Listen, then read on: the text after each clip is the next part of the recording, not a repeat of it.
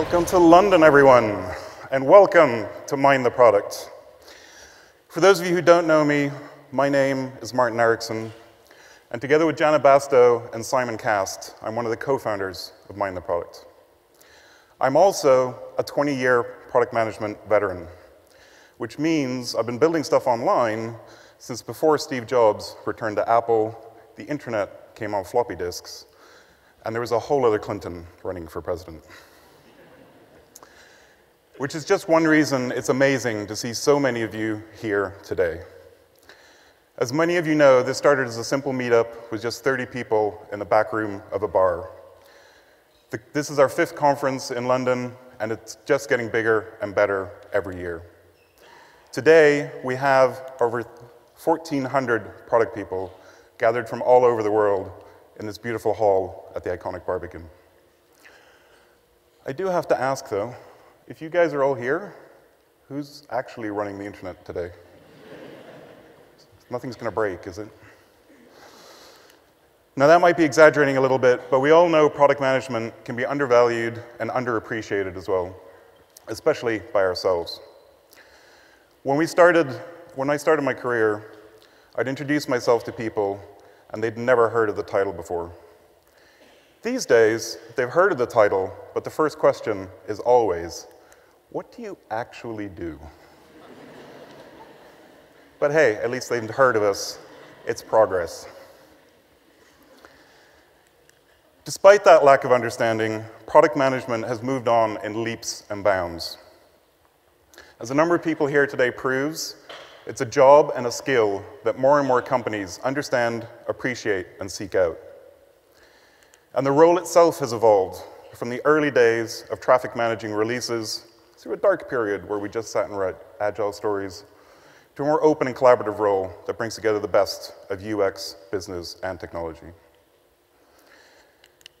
So problem solved, right? We've got our job title, we've got our space in the organization, we've got our seat at the management team table. Let's just get on with building amazing products. Not so fast. Product management just doesn't lend itself to the status quo. It was also five years ago that Marc Andreessen first posited his now famous quote, software is eating the world. I think we can safely say that this has been borne out in reality. The world's largest hotel, Airbnb, owns no property. The world's largest telecom companies, Skype and WeChat, have no infrastructure. The world's largest retailer, Alibaba, carries no stock. The world's most popular media site, Facebook, has neither faces nor books. So software is eating the world. But what does that actually mean?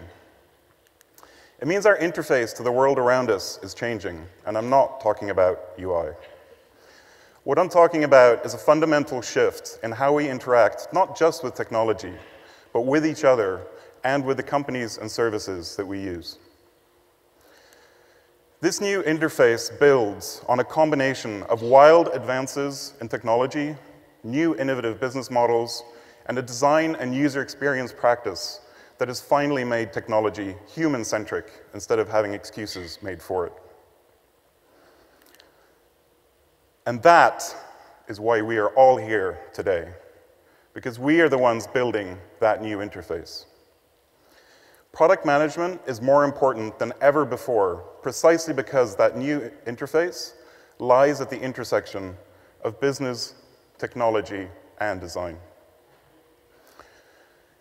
No one discipline can solve all the challenges that all three face. Whether you're a product manager, a designer, an engineer, a psychologist, a data scientist. We're all product people. And that intersection is where we live, in the middle of a blue Venn diagram.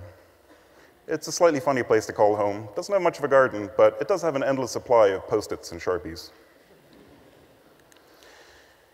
At Mind the Product, therefore, we implore you to ignore the semantics of job titles and the endless debate of who owns the user, the code, or the interface. I say, who cares? We all own the product together.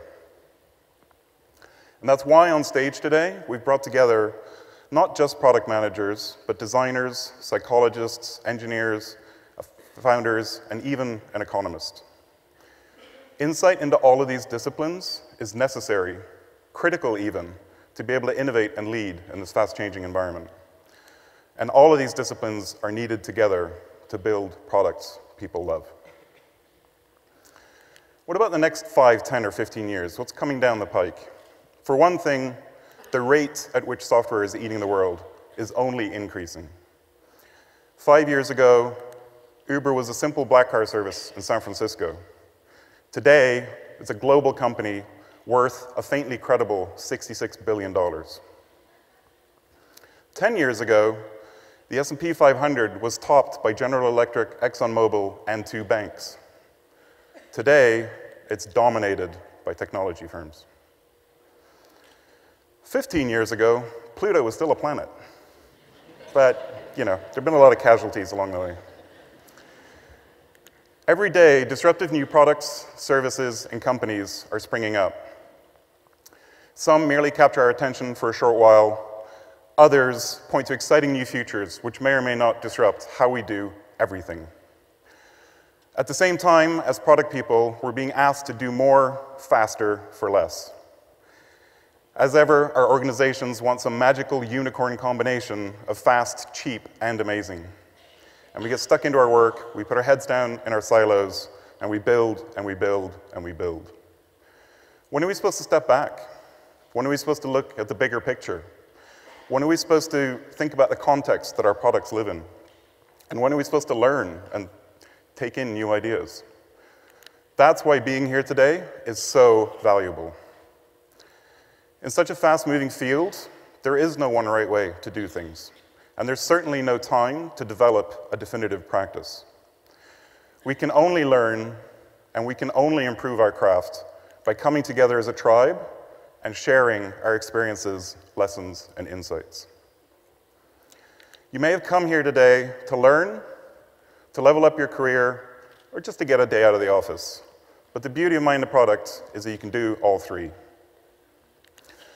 Listen to the speakers and their hard earned insights. They have some amazing stories to share. Discuss them online using our hashtag or in our Slack channel. But most importantly, get out there Find new peers to connect with, debate the talks you've just heard, and then share your own experiences with each other during the breaks. You can gather around the networking wall that's just outside, or discuss specific topics in the roundtable room upstairs. Finally, of course, enjoy a day out of the office and enjoy a day of reflection, whether it's on the terrace outside, over a game of giant blue Jenga, or over the drinks at the end of the day. Because no matter what happens in the next 5, 10, or 15 years, I bet our jobs will look very different again. And it's only by working together as that tribe and learning from each other that we'll be able to manage so much change. One thing is for sure we will be here together minding the product.